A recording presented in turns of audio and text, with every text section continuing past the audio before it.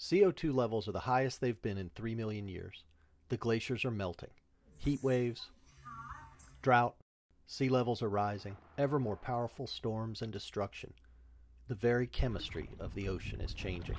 Earth has rebounded from these extremes before, and each time it was marine organisms saving the day, trapping carbon from the water, locking it away in their shells. And oysters could save the day again, lowering carbon levels all over the planet. Problem is, over the ages, we have eaten most of the world's oyster reefs, meaning this planet saving mechanism isn't there. Look at the historic oyster catch from Mobile Bay over the last seven decades. That same decline is seen all over the world.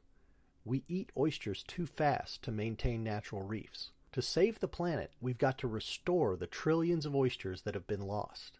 Farmed oysters have to be raised out of the water one day a week to kill pests and control biofouling. It is very labor intensive. We've figured out a better way. Behold, the Shellevator.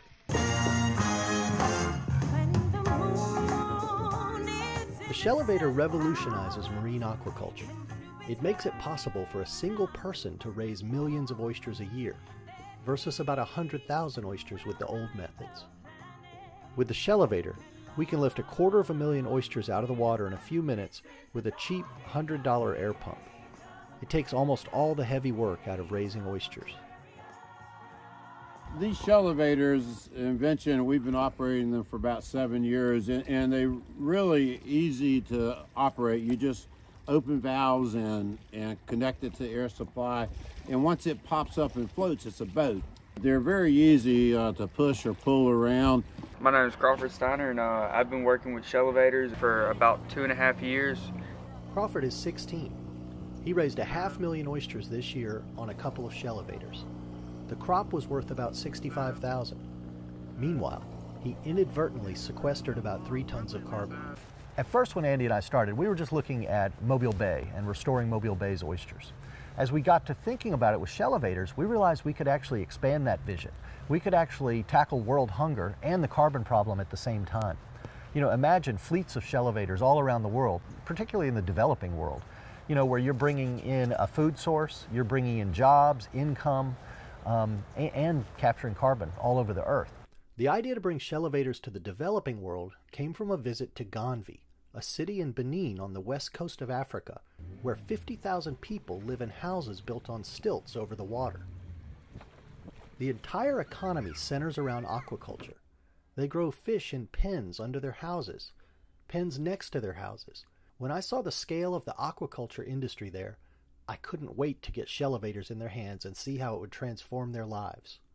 And toward that end, we've actually come up with a plan for a much simpler Shellevator that can be built by two people on a beach with hand tools uh, for under $500.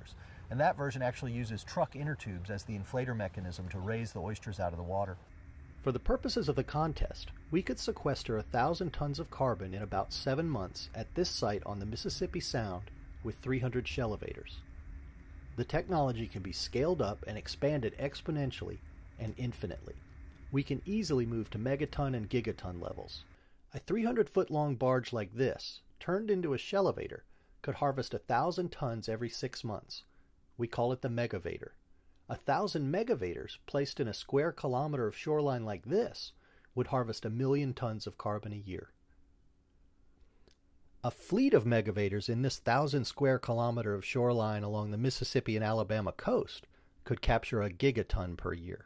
We start with tiny oysters, almost microscopic, and raise them in old Coke bottles. The oysters double in size every two weeks.